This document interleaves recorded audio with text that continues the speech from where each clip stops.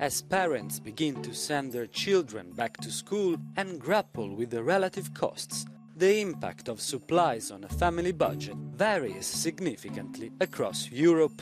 Italy and Spain are, for example, the countries that tend to pay the most among Europe's five largest economies, despite having lower average salaries than France, Germany, and the UK. The cost of putting together a basic kit comprising 20 items, like pens, highlighters, notebooks, and scissors, seems to be highest in Italy.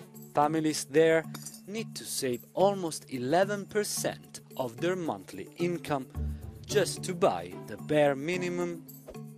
In Spain, it's 9.24%, followed by Germany at 7.1, the UK at 5.65% and France at just 4.84%. Spain's hefty cost is partially justified by inflation, the fourth highest rate in the EU in June, but the same cannot be said for Italy, which had the second lowest inflation rate in the bloc, just 0.9%. These figures, however, don't include other expenses such as textbooks, meals, school trips, or sport equipment.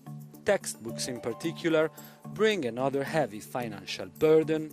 On average, they cost 591.44 euros in Italy and 491.90 euros in Spain, where they reached the highest price ever.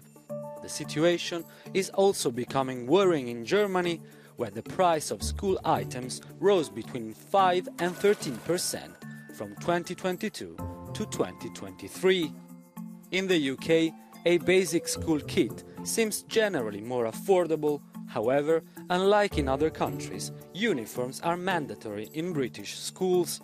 Parents can spend an average of up to 422 pounds or 500 euros on uniforms.